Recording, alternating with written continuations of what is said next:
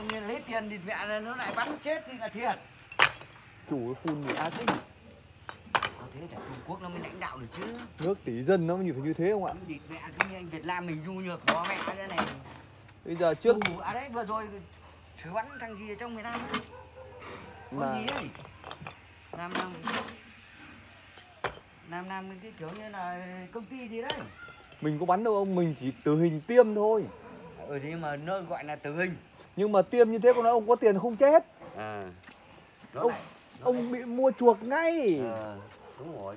Ông bắn gì đạn nó găm ông không chạy được chứ còn tiêm thì nó tiêm cho thuốc chết lâm sàng không rồi đúng rồi. nó dán mặt thằng khác vào. Ai biết đâu mà.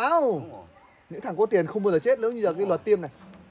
Mà chính thằng đấy mới lại thằng thằng ăn dày nó lại có quan có chức nó ăn dày không? Nó ăn dày chính thằng đấy lại ăn dày thế mới bảo là luật pháp Việt Nam mình cái bọn quan chức thì chỉ nghĩ kẽ hỏi làm sao để chúng nó không chết thôi Nên là không ăn thua.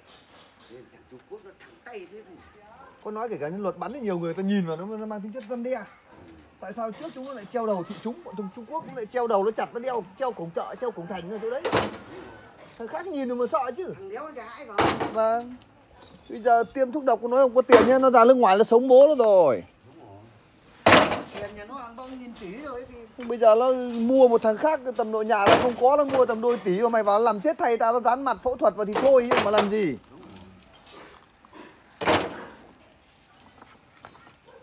Nên là con thấy nó nhiều cái trái ngang lắm. Toàn bảo vệ thằng có tiền thôi. đây là ông trọng ông lên ông cũng giết nhiều thằng rồi Chảm được bớt đi nó cũng đỡ. nó cũng bớt đi được một tí Bố bố chắc hết khóa này là bố nghỉ rồi Yếu lắm rồi. yếu lắm rồi mà bây giờ tuổi quá rồi bây Cái- giờ cũng biết là ông nào thế vào đây thì không cái chân tay có có vững được